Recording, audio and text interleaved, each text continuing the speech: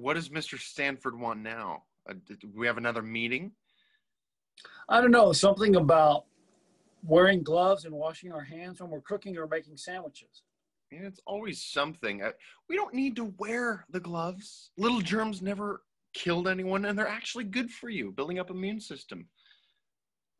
Well, I don't know about that. There are a lot of dangerous things in this world.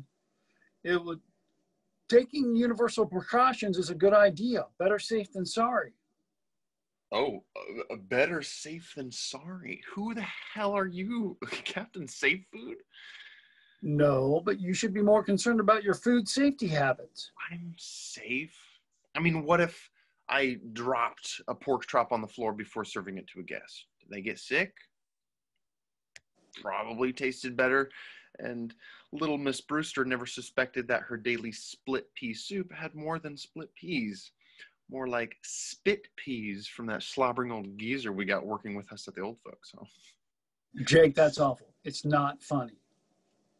I mean, look who's serious all of a sudden. You can't tell me that you have never served a customer something from the floor or during a rush hour you just forgot to wash your hands after you pissed. I have never done such a thing. We could get sued for such negligence. Yeah, yeah, whatever. I what about that irate bastard the other night? You remember he was all mad about his dinner being wrong and you didn't just want to flick a booger into his burger? Hell no, I had no desire to make a booger burger. You're sickening.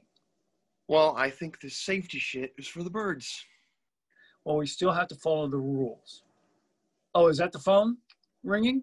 Yeah, um, I'll get it. It's probably Mr. Sanford telling us to hurry our asses down to the meeting room. Yeah.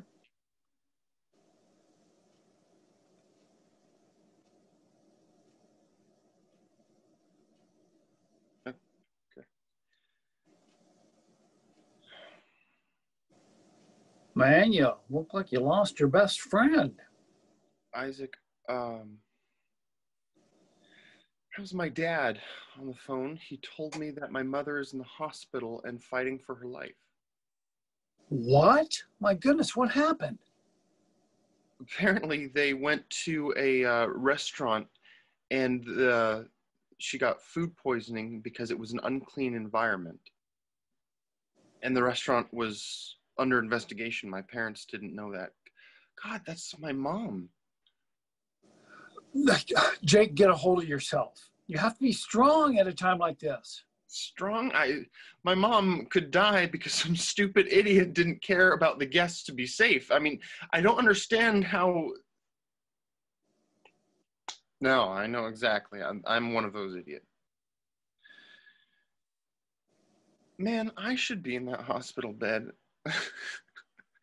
I'm no better than the guys who putting her life in danger Jake, don't be so hard on yourself.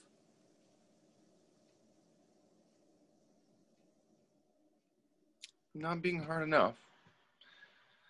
A few minutes ago, I didn't give a damn about food safety, and now it hit home, and I don't know how to handle it. I, what do I do now? The first thing is to go to see your mother to make sure she's okay. Then we'll talk about how you can be more serious about our customers' safety. Now go. Your mom needs you. Thank you.